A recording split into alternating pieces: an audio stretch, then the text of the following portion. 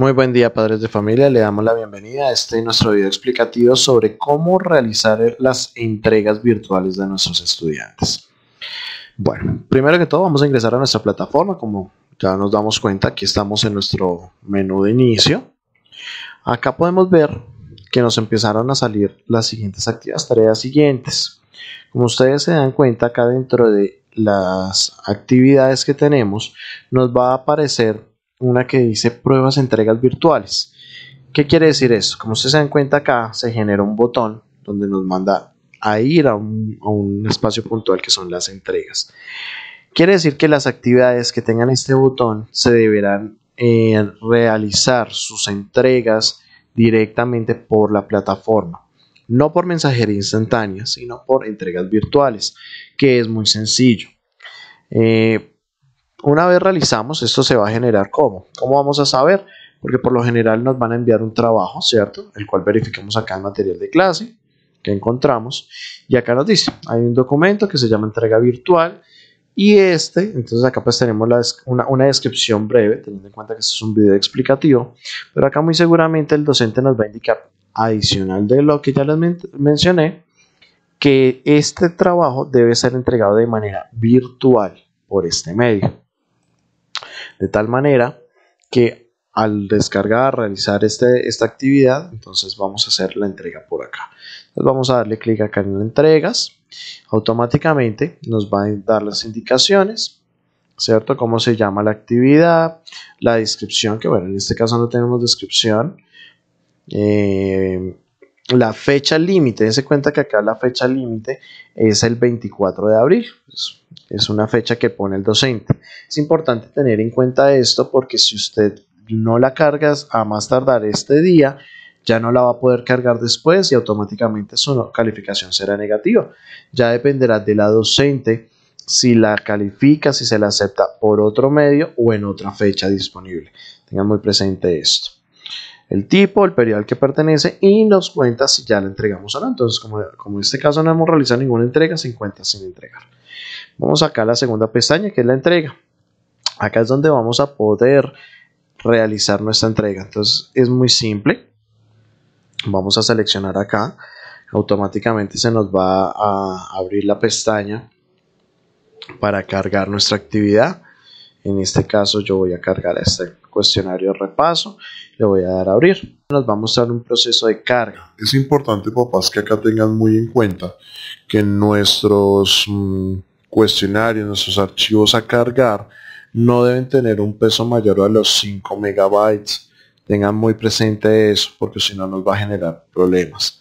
También tener en cuenta que estos procesos por lo general toman un tiempo, entonces es importante no desesperarse ni estar cancelando las cargas porque vamos a generar eh, inconvenientes también. Es importante tenerlo ahí. Vamos a esperar a que se realice la carga. Podemos acá anexar observaciones mientras se carga la actividad. Podemos mm, generar entonces aquí en observaciones podemos eh, mandarle un mensaje al profesor. Profe, le envío... Oh, perdón, vamos a borrar acá porque recuerden que escribir en mayúsculas no se debe realizar. Eh, profe, buen día. Envío la actividad. Feliz tarde. Entonces una vez ya tenemos esta información, le damos subir. Automáticamente se cuenta que aquí nos cargó ya la actividad, nos está mostrando el proceso. Vamos a esperar y ya nos indica que la actividad ha sido agregada correctamente. De tal manera que ya el docente va a enviar su calificación, lo verificará y por esta pestaña vamos a encontrar algunos comentarios. Por ejemplo, acá tenemos ya algunos precargados anteriormente. ¿Listo? Entonces, vamos a, voy a mostrarles acá desde la, desde la aplicación docente cómo se nos vería. Entonces vamos a ingresar acá.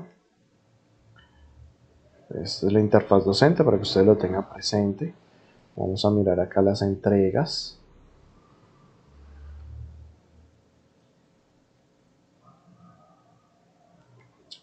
Como se dan cuenta, acá ya me aparece la entrega que se realizó. yo acá vamos a calificar rápidamente. Yo acá voy a descargar su tarea para verificarla. Vamos a obviar la verificación. Eh, como se dan cuenta, acá nos informa la fecha de la entrega. Quiere decir si lo entregaron el 23, el 22, aquí se va a ver reflejado. Y acá el docente le va a realizar la calificación. Vamos a suponer que sacó 5 estudiantes. Si llegasen a haber inconvenientes, eh, que de pronto nos quedó mal y el docente eh, considera que puede realizar una nueva entrega, se le podrá habilitar de tal manera que usted pueda hacer una corrección y puedan subirla nuevamente. ¿Listo? Entonces vamos a darle acá calificar. Y acá el docente le puede enviar eh, buen día. La actividad ha sido calificada. Y agregar. Entonces volvemos a nuestro usuario del que ustedes van a, a conocer. Entonces es importante, en este caso vamos a recargar nuestra plataforma para poder ver nuestra calificación. Entonces dése cuenta que aquí ya nos desapareció, ya no tenemos nada pendiente por entregar, simplemente ya está calificado, entonces vamos a ir aquí en actividades, en prueba y dése cuenta que ya puedo apreciar la entrega virtual. Puedo seleccionar acá. Veo que ya está calificado, que ya está entregado. En la entrega, esperamos a que cargue. Ya me indica la calificación. Y el comentario, como se los mostraba, el docente ya nos informa que la actividad ha sido calificada.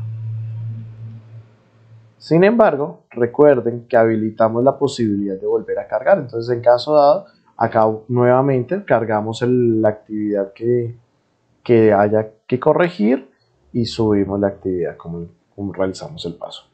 Como se dan cuenta, padres de familia, es un proceso muy sencillo de realizar, no, no requiere mucho, mucho tiempo, de pronto paciencia y eso va a depender de nuestra conectividad, si estamos conectados a internet por Wi-Fi o por cable. Recuerden que el Wi-Fi es un poco más inestable y más en esta época. Entonces, eh, padres de familia, espero que haya quedado todo claro. Cualquier duda, cualquier inquietud, pueden contactarse a alexandervillata.talleristas.edu.co para cualquier inquietud. Que tengan un buen día.